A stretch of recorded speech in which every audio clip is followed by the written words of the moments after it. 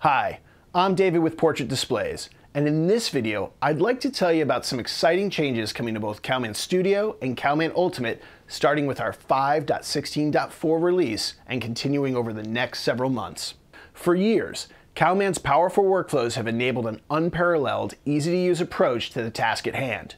Whether calibrating a CalMan Ready display, building custom lookup tables, or assessing display performance through advanced analysis tools such as gamut rings, customers have consistently praised the highly intuitive experience they provide. But we've had a problem at Portrait Displays that has been bothering us for quite some time. Typically, a workflow is designed with the current features and functionality available at the moment of inception. But CalMan development never stops, and we continue to enhance the underlying application. As we focus on new makes and models, older workflows tend to get neglected and, over time, this has led to a very disjointed set of workflows. Some were made years ago and have a very different user interface and calibration approach that, while useful, can be significantly improved today newer workflows may feel and operate completely different than earlier counterparts. With CalMan's improvements over the past year, we're now able to merge workflows together to create a singular experience for calibrating signal formats such as SDR, HDR, and Dolby Vision. But we're not stopping with just the workflow. We're optimizing how our workflows are organized, making them easier to find.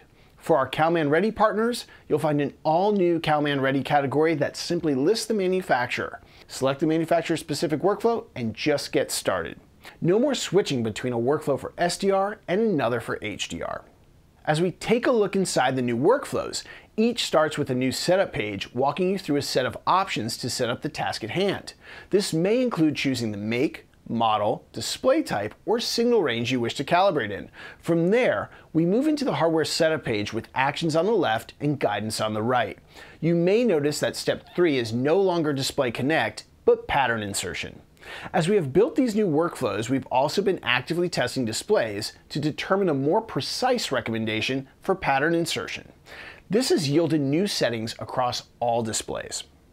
Next up, our new calibration targets page. Notice that we now offer the ability to set both the white and black targets right in the workflow. This really helps with optimizing displays that benefit from using the target white level, such as the Flanders Scientific XMP series of monitors. Our next page, I think you're really gonna love. For years, the calibration industry has had a constant debate as to what constitutes pre-calibration. Some believe a pre-calibration report should be representative of how a display is currently being used or viewed. If a display is in vivid mode, you would run the pre-calibration measurement in vivid mode. Of course, there's another train of thought here. What if I'm in vivid mode, but I want to calibrate filmmaker mode? Would the pre-calibration be in vivid mode, or would I want to run a pre-calibration in filmmaker mode? After all, I'm calibrating filmmaker mode, I may want to understand what that particular mode was before it was calibrated. This debate has been going on and on between color scientists, calibrators, and end users since the dawn of calibration. And while we may not have a clear winner, we think we've solved the problem. For this, we've created a workflow page called Current State. This new workflow page is used throughout CalMan for the current state, pre-calibration, and post-calibration results. It allows for a comprehensive overview of the display's performance, with 25% saturation sweeps, a color checker chart in SDR, and our all-new HDR content colors for both HDR and Dolby Vision. There's also a 21-point grayscale. We think this strikes the right balance of measurements and speed while providing a detailed overview of the display's accuracy. But we didn't just stop with the updated charts. You'll notice that each dataset now has Delta E2000 and Delta EITP graphs clearly visible. And if you want to see the data that correlates to these measurements, you can click the top right corner where it says Show Data Grid. If you're like me, you often wonder, is my error in the luminance tracking or is it in the chromaticity? Well, we made that easy too. There's an include luminance error checkbox that allows for a fast toggle to assess exactly where the error occurs.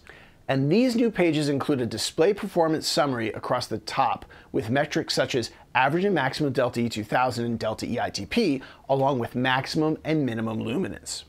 Of course, with so much wonderful data on a single page, we thought, how can I easily zoom in and get a better view of how my colors are tracking?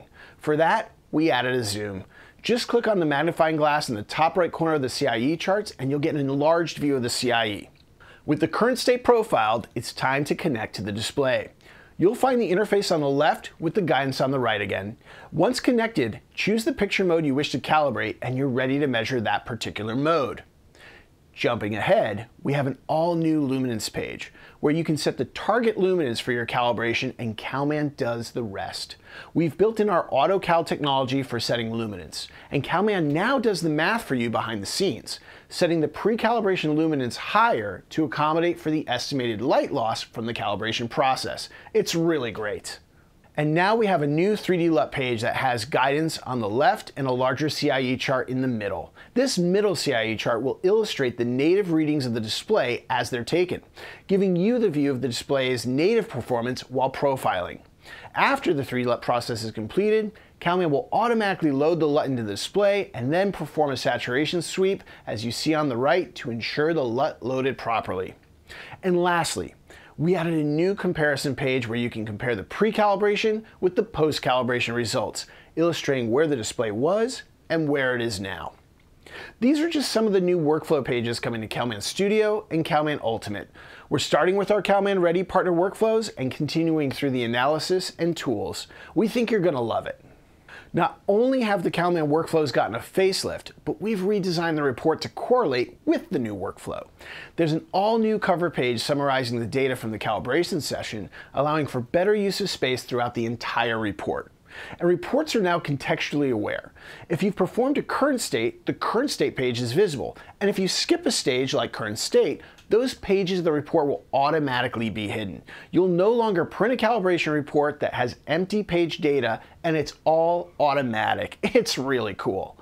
With this much needed update, Calman is more aligned with our customers' needs than ever, and we can't wait for you to experience it for yourself. What do you think about these new updates and which side of the pre-calibration argument do you fall on? Let us know in the comments down below. We hope you enjoyed this video, and if you haven't already, hit the subscribe button to stay up to date with all the latest Calman updates. We'll see you on the next one.